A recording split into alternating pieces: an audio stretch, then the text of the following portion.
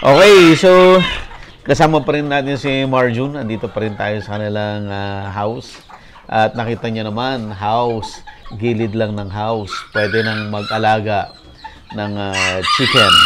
At ah, pwedeng maging negosyo. Yes. In fact, negosyo na ni Marjun ngayon to.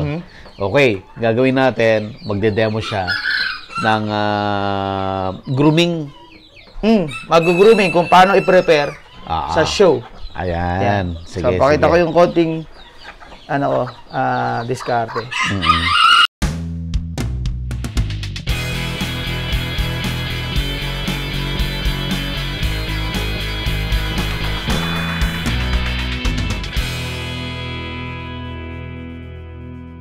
Available na po ang agribusiness merch sa Shopee. Ang link nasa description box.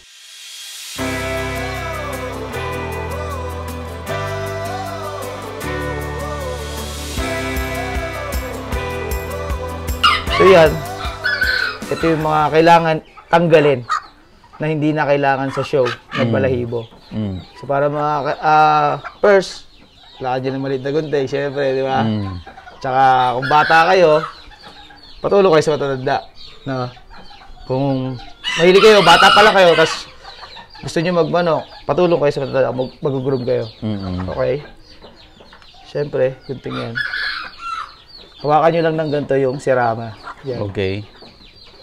Then, gupitin nyo ng ganyan. Idiretso na yung gupit doon sa pinaka oh, hindi ko alam ang tawag doon. Parang pinaka ano, puno ng feather. Ang dami. Yep. Di po, kadami ang tatanggalin. yes. Yung pinapakita ko po is mga hindi nakasama. So, mas presentable po siya pag naka-trim. Siyempre, ba- parang bagong gupit, di ba? Pogi, maganda. Bagong ribbon. So, yan. Para mas ma-emphasize yung legs niya. Yan. Ito yung wala. Ito yung walang groom. Ayan, o. Ito na yung groom. Di ba? Mas, mas neat tignan Mm. para sa hen. Yung ganyang style. Kasi ito lang importante. Ito lang Oh, importante see. titignan. And then ito, hindi naman kasi kailangan tignan, which is nakatago kasi talaga siya. So, yung pinapakita ko sa inyo, is okay tanggalin. Mga okay na tanggalin na balahibo pag isi-show. Ilalaban nyo ng show. Yeah. So, ito, natutunan ko lang din sa sarili ko, tsaka sa konting mga tip ng mga nagsisirama nun. Yan. Paano ko na, na, na-prove na yung tinry ko is okay. Nag-try ako maggupit, sinuko, pag natalo, di ba? Ibig sabihin, fail.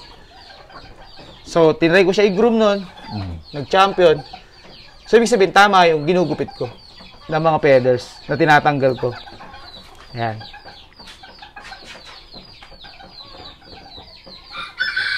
So, yan lang.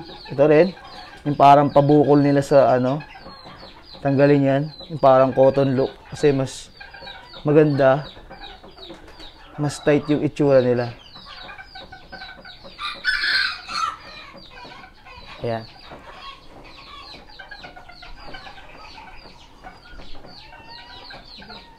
Mhm. Yan lang yung ginugroom doon. Pagdating sa hen. Yan. Yung magiging itsura niya. Diba? Okay. Sa ano naman, sa kak. Pal tayo ng ano, Okay. ng subject. Ito, ito, ito. Tayo sa kabilang table. Game? Okay, bali ito naman yung sa mga rooster o cock. Ito naman yung mga ginugroom na part din. So yan, huwag lang ng ganito yung manok. Hindi masyadong mahigpit. Then, ito, i- iiwas natin yan. Ito yung mga importante. Mhm. Yan yung mga kasama na tinitingnan sa show. Okay? So, iwas natin yan. Baka magupit natin yan. yan. Mas maganda yung gantong gunting. para, para sa akin ah, why? Mm. Mas, ano eh, alam mo yun, mas pulido yung magugupit mo, dito na malaking gunting. Baka magupit nyo po kasi yung balat ng manok. No? Oh. So, ito, mas ang tawag dito. May isa-isa mo. Kasi, kapiraso lang naman din yan. Ayan. Siyempre, huwag ka magmadali. Hindi mo kailangan magmadali magupit. Kalmado lang dapat yan. So yan, tumutubo kasi yan ma mabilis.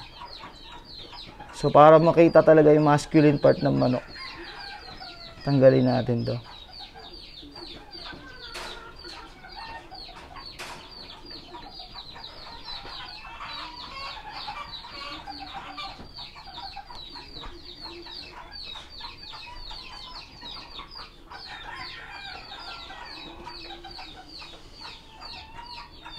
Yan. Ah, para So- kita yung legs niya. Yes, tapos ito, lalo to. Eh, di ba? Kita siya sa likod eh.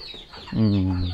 So, nakakasagabal siya sa view ng, ito. Hindi ko alam yung tawag dito ng part ng manok, pero importante yan. Ito, hindi ko alam. Cotton part tawag ko dito eh, mga cotton na feathers. Hindi naman kasama yan. Ayan. And then, Sarang.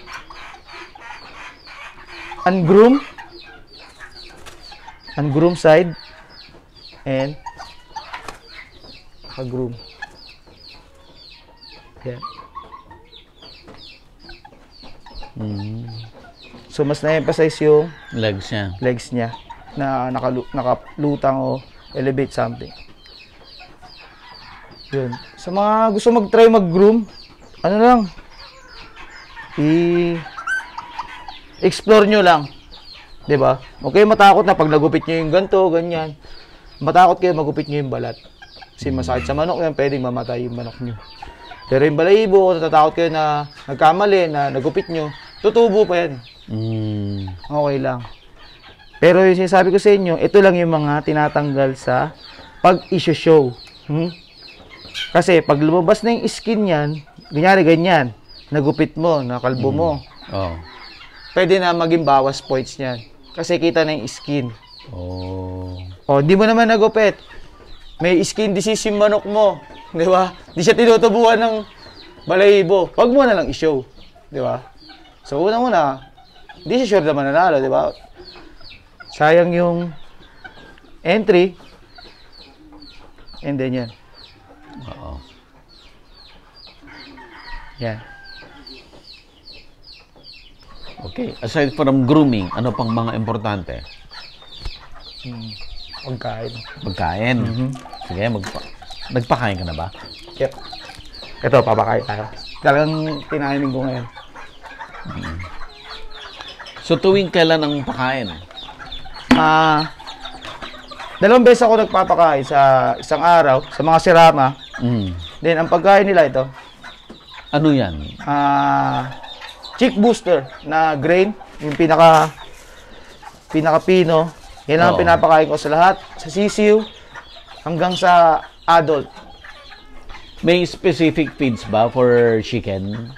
Ah, wala naman eh. Sa brand wala naman din. Pero ang, ang gusto lang sabihin dito, why ganito chick booster lang? Kasi maliit lang sila na manok. Oh. Mahirapan sila i-digest yung mga tulad nito. Malalaki. Gantong pellet. Yes. So ito, pang doon ko sa mga large chicken ko lang. Okay? So ito, lahat, sirama na lahat. Lahat ng sirama yan booster. talaga. Okay. Hanggang Tegra. kahit maging adult siya. Yes po. So yun, pakita tayo ng papakain tayo ng mga sisiw. So yun, pag magpapakain ako ng mga sisiw, yan. Ganito lang kadami.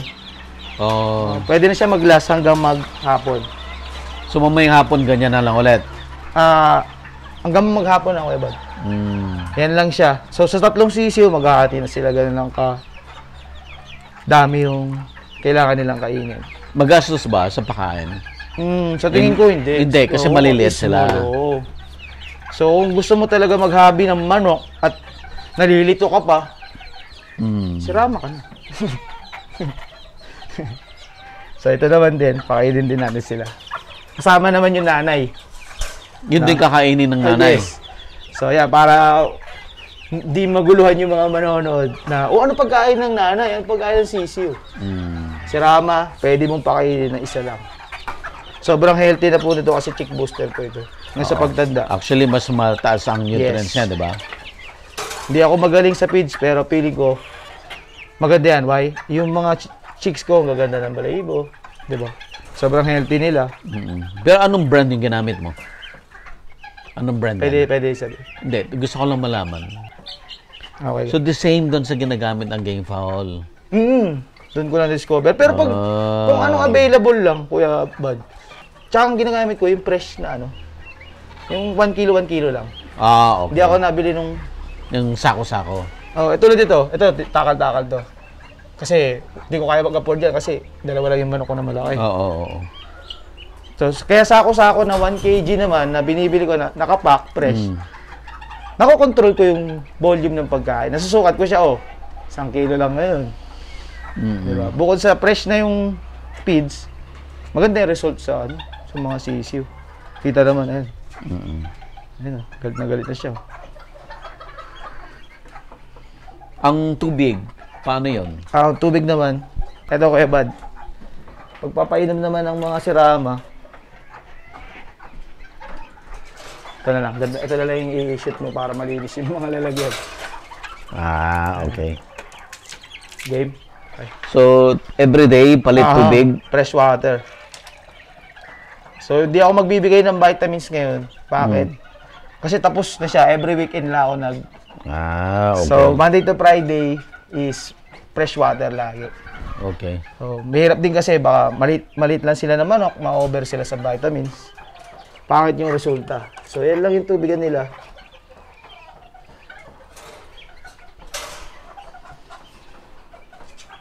Yeah. Kukit nila, di ba? Ito, so, pinakamaliit. Napasisiyo ko. Smallest na, Oo. smallest pa. di ba? Smallest chicken na nga siya. Tapos naglabas pa siya Pero may forma na siya, oh. Yes. Bad. Champion in the making ba to? Sana. Sana. Tapos siya na yung next future mo, di ba? Mm. Na itong manok na to. Ganyan. Sirama, sisiw.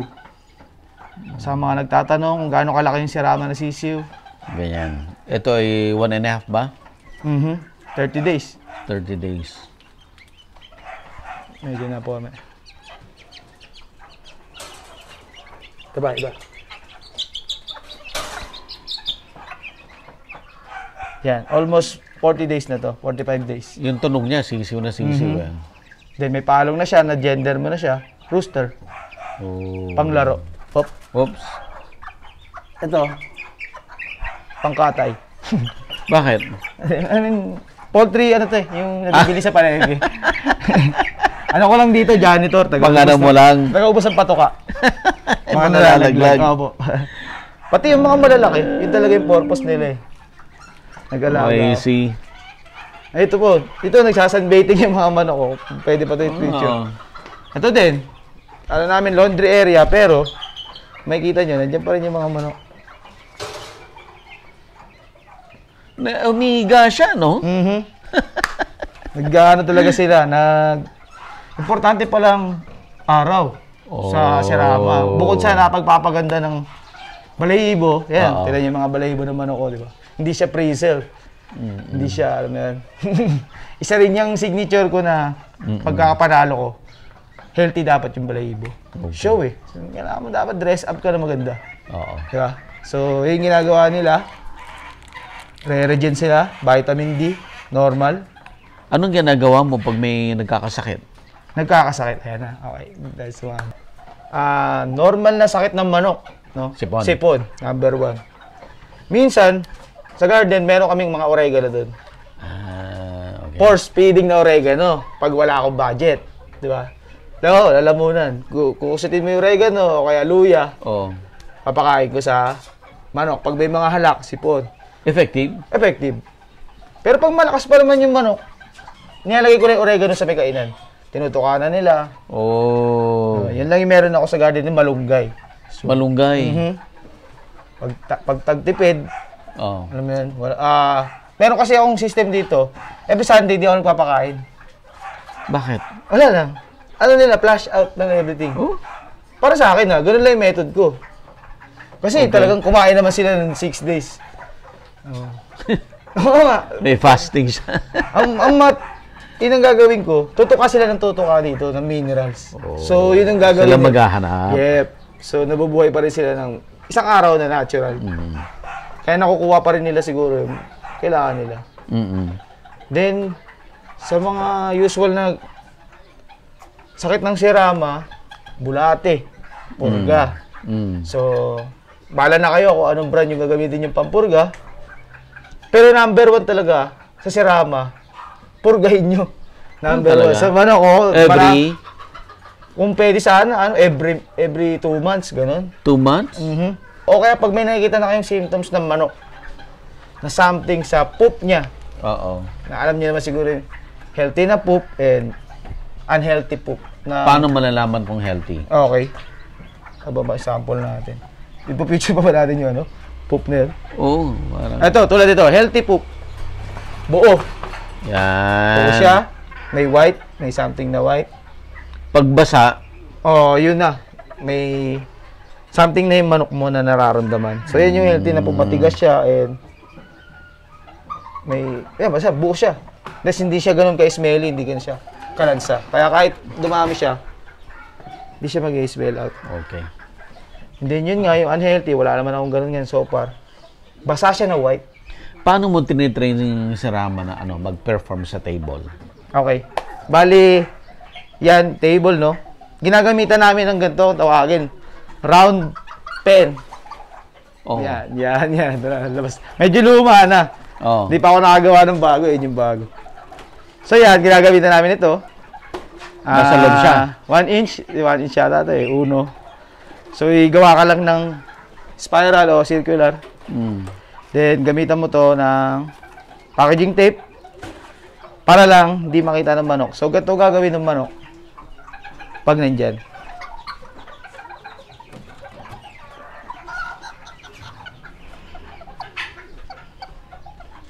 So, ganito yung pag-training nila na stability nila sa table. Yan. So, para naka, yan. Nakaliyad siya lagi. Ah, para makita niya yung Mhm, labas. Sisilip siya. So parang ganun din yung nangyari dito sa cage. Nag nagtitiptoe sila o nagche-chest out para ba sanay May na ganyan siya. lagi sa table, yes. Oh. Then yung Kaya pala nakaganon siya lagi. yes po. So it- may bigay din to para pag sa upcoming competition no may naka-ready yung manok mo na prepare siya sa table. Oh. Yung iba kasi lilipad. Yung iba maglalakad, aalis, di ba? Oo. So, kung first time lang niya naka-feel ng table, malaki chances na hindi siya manalo. Kasi kasama yan, malaking points yan sa judging. Yes po, yung stability niya sa table, yung Oo. hindi siya aalis. Gagalaw-galaw siya, pero within the table. Doon within the table. Yep. Kaya ito na yung ano niya, familiarity. Oh, trade secret yan. Sinabi mo na. Ano pangkalat po. Ah, alam wala nila. secret oh. Okay. Paano ka nagbi-breed? Nagbe-breed ako. Um, pag breeding ko, una-una yan, pinapakawalan ko yung mga hen. Oo. Kita nyo naman, yung mga hen. Naka-pre-range sila. Okay. So, lahat ng hen is makapag-develop sila nung para mga egg na maganda. Mhm. Kasi naka-pre-range sila, hindi sila stress, gano'n. And then, magpapakawala lang ako ng isang rooster. Oh. So, so hindi ako malilito sa breeding because alam ko lahat yung mga Kung sino magiging tatay. Apo. Yung parents, isa lang ang tatay. So, nakaka-age lahat ng ibang rooster, isa lang gagamitin ko. And then, after nun, yung mga hen Mm. na nakasta na, tulad nito, sample, nakasta na siya. Pupunta na siya dito. Dito na siya magne-nesting. Naka-open lang yung mga cubicle na tong. Itong first floor ko is a- for nesting. Nest yan. May mga pugad dyan. Silang gagawa? Hindi. Yes, magkakalkal Mag-ipon muna ng egg dito. Okay. Pag nag-ipon na siya ng egg, nakita ko na siyang umupo, papalitan ko na ng pugadan. Then, yun na yung magiging breeding din. After ng breeding, mag-hatch dito. Mm. Kasama yung nanay, mga 10 days. After 10 days, lipat ko na sa grow out. After ng grow out, Mm. selection, pipiliin ko na yung mga pang show. Lalagay ko na sila dito. Okay, ano ang basis mo dun sa selection? Selection. Unang-una, tinitingnan ko para pumasa sa selection ko.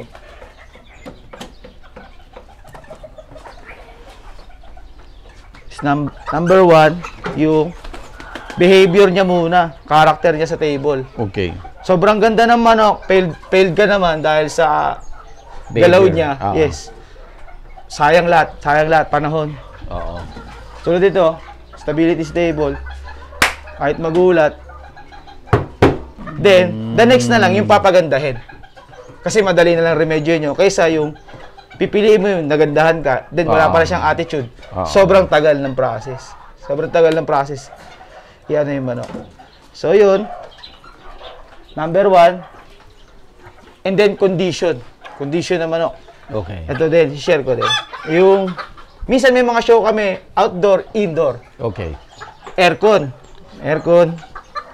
And, minsan, hindi aircon. Oo. So, sa aircon, nilalamig yung manok.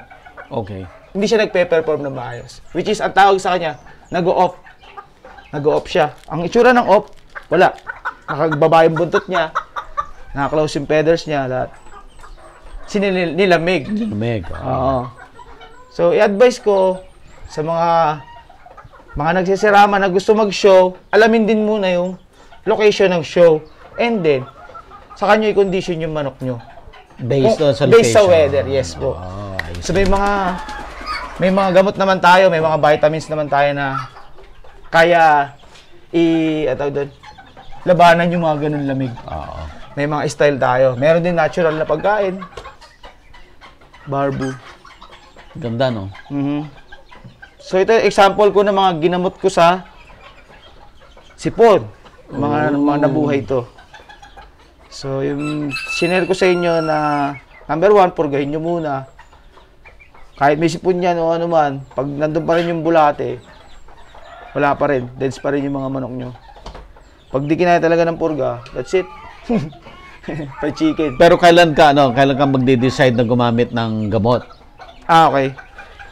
Nag-decide na ako gumamit ng gamot pag nakayuko na masyado, kumbaga, ano na, nahirapan na. Hindi na siya nakakain. Mahahabol pa. Mhm. Kaya Tapos, pa habulin ng gamot yan. i-isolate ko. Ilagay ko sa, Oo. tulad dito, sa sarili, isa lang siyang lalagyan para hindi siya makahawa. And then, um, yung heat lamp, mini-heat lamp ko siya. Oh. Para kahit indoor, meron pa rin siyang source ng Mm. energy niya. So, so far naman nabubuhay. And then, gumagamit ako ng ano, Epsom salt. Epsom salt. Ang Epsom salt, ginagamit ko pag mga dying na yung mga manok. Oh. Malapit nang mamatay. Oh. Nabubuhay niya. Talaga? Uh, nakita ko lang din sa YouTube. Ginaya ko. Totoo. Legit. Effective. Legit. Legit. Legit naman. Epsom salt, ano to eh, ginagamit sa mga ano, spa. Pamparelax ng muscle. Lalo yung mga manok na, Oh. ano talaga, malapit na. Oh, I see. Ah, ginagawa, ginagawa ko, warm bath. Tubig, and then, lagyan ko ng Epsom salt. Ilulubog ko yung manok, mga 30 minutes. Then, hayaan ko lang siyang tumayo ng kusa. Tatayo siya Tatayo talaga. siya ng kusa from the nakadapa na na situation. Then, saka mo na siya bigyan ng gamot. Meron na siyang enough na lakas sa katawan. Okay. Discuss naman natin ngayon yung ano, business. Okay. Okay. So, ito ay sabi mo may potential na negosyo talaga. Yes po, meron. Meron po talaga. Okay. Bakit? Paano mo nasabi na may potential talaga ito? Mm, Bukod dun sa dumadami na naghahabi ng serama, Mm. itlog din eh, na-breed mo siya. Napapadami mo talaga siya. Di ba? Parang manok din. Pinaliit nga lang natin. Oo. Dadamit, dadamit Mm, talaga. Dadamit, dadami talaga siya. Bukod sa nangingitlog siya, madami din siya maglabas ng Mm-mm. Sabi mo itlog dumadami. So ano mga pwedeng pagkakitaan? Itlog. Pwede Yes. mo na ibenta mismo. Yes, pwede, pwede. Okay. Itlog din, na fertile. Fertile Fertile egg. na Serrano Ayan. eggs, yes. Second, pwedeng sisiw. Sisiu. Okay. And then, sunod yung mga brooder. Brooder, pwede rin. Yes. Oo. Show quality. Select select na pang show na serama. Ayun. Iba yung- pa yung category na yun na Iba pa yan. Ah, Yung, yung potential. Mhm. Kasi ang parents niya, ganyan, Yep, winner, ganyan. winner. Selected talaga. Iba pa yung winner na siya, pwede, mayroon din kukuha nun. Oh, pwede din. Pwede rin. Pwede rin Oo. yun. Pwede na lang i-out yun as kasi nagamit mo na na ganito, titled na siya. Oo. Pwede mo nang ipasa rin sa iba na gusto mong Mm. ay gusto rin mag-breed Gusto rin mag-breed. ng mga quality. Yeah, Alam mo yun. So p- para hindi masayang yung pera na totoo naman din yun na pumunta ka na sa direct na quality na ma- makukuha na, di ba? Mm-hmm. Para hindi ka na mag-waste ng money na maganda ba to, maganda ba yan? Oo. So marami, no? Maraming pwede Opo. na ano na saan sila pwedeng Mm. kumita. Okay. So uh, na-mention mo kanina, parang ginibap mo na yung work mo Mhm. para mag full-time ka na dito. Yes, yes po. Ah, bale, una, hobby lang din. Then nakita ko nga, sabi ni Kuya Bad, may potential as business. Yes. Oo. Maliit na manok, malaki yung potential na business. Malaki. Yes. So, ito siguro yung start para mapanood ng tao na may, meron kayong maliit na backyard, Mm-mm. meron kayong maliit na space sa bahay. Mm-mm. Baka ito na yung start. Ito na yung Malaysian Serama na as pet ninyo, Mm-mm. yung itlog, pwede rin makain. Kaso nga lang, syempre, maliit. Pero sa Saka ibang... mahal masyado. Ha? Kakainin mo yung Oh, itlog, pag yung mahal. mga unfertile eggs, Ah, yung unfer- unfertile Unfertile eggs. pwede. Kinakain namin. So, nagro- nagro-rotate lang din yung mga itlog dito sa bahay. Ah, ah, ah. Pagkain, di ba? Malaking bagay din yun. Malaking bagay yan. Mhm. Kakainin mo siya as everyday. Pero pag fertile, ibang usapan. O, bang yan. usapan na yun. Mataas. Lalo na pag maging sisiw na siya. Oo. So, pinaka-materials mo talaga dito, sisiw. Ang pinaka-happy part. Naging sisiw, yes. Oo. So, ilan ang dapat na alaalaga mo para masabi natin na viable na siya, na pwede nang isantabi ang trabaho at dito ka na lang mag full-time. Mhm.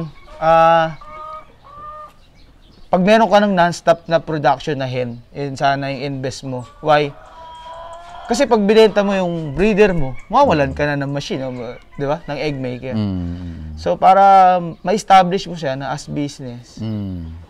Unang-una, aralin mo muna yung breeding. No? Mm. Aralin mo yung breeding, kung paano magpapisa ng serama. Bukod Okay. sa maliit siya, Mm. paano yung setup niya, para hindi sayang yung pera mo. Mm. Then, yung cage, kung paano mo siya alagaan. Mm. And then, para masabi mo na talaga na stable na yun, dapat meron ka maganda every two months na pasisiw. O kaya every month kung masaya, di ba? So yung hen mo, nagro-rotate, papahinga to, meron ka uling isa pa. na bago. Ah. So, Para tuloy-tuloy. magbigay tayo approximately, siguro mga 12 pairs. Wow. 12 pairs, no? Pero sa 12 pairs kasi, konti lang ginagamit natin doon na rooster. Alisin natin. mm, mm. So marami talaga. Halos hen yun. Yes, eh, ang invest nyo po, hen. Why? Hindi naman po nangingitlog yung lalaki. Oo. Di ba? So, yun din, nang napanalo natin, mga hen, tayo yung mga best in hen. Mm. Nandito sa Taytay Rizal ngayon, yung pwede nyo ma-acquire na bloodline. Oo. Dito lang yung pupuntahan sa Taytay Rizal. And then, pwede kayo makapili. Okay. Personal. Paano ka nila makakontakt? Paano na ako? Ah, pwede nyo i-visit yung page ko Okay. na Bolt Serama. Si Bolt Okay. Serama. B, Victory, OLT, Bolt. Bolt. Apo. Serama. Apo, Okay. Bolt Serama. And then yung personal na Facebook ko, si Dagat Nilo. Dagat Nilo. Ah, kung Okay. may mga katanungan po kayo, yun po ang... Ang picture ko doon sa Dagat Nilo, yung same lang din po kay Bolt Serama. Kasi may mga dami account din po na gumagawa ng fake account natin. Ah. So, para hindi rin po makonfuse yung mga magpa-follow, incoming followers. Oo. Ah, phone number. Phone number po si 0926-077-2602. Ayan. Yan po ang contact number ko. Pag gusto niyo mag-start, lagi mag-start kayo sa legit. Mag-start kayo doon sa reliable. Diba? Sa, yes. Yan. Okay, last na. Ano ang advice mo doon sa mga gusto mag maging hobbyist din ng sirama? Paano sila mag-start? Oo. sa mga nag-iisip pa lang, no? Nag-iisip pa pala eh. Then, kung magsisira ba ako. Mm.